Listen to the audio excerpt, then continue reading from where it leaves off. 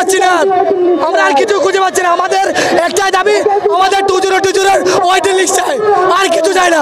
আমি নিজে একজন ইউআর ক্যান্ডিডেট আমি পয়েন্ট ভোট তুলে বাদ গেছি।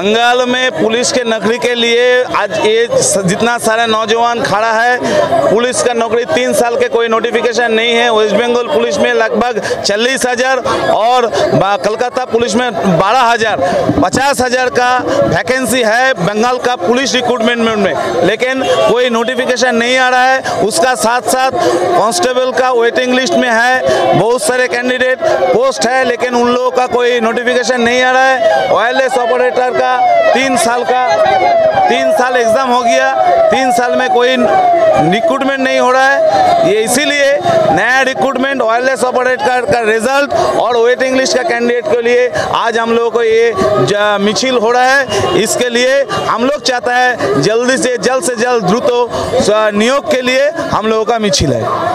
हमारा विभिन्न परीक्षा दीची मठे कठोर परिश्रम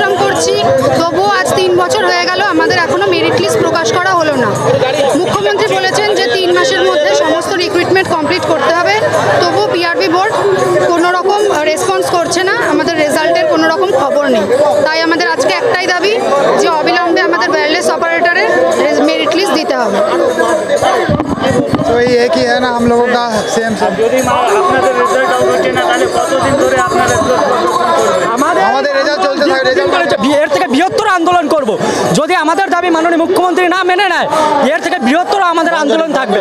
এবং আমাদের নন জয়নিং সিটগুলো আমাদেরকে দিয়েই পূরণ করতে হবে সেটা নতুন রিক্রুটমেন্ট দিয়ে নয়।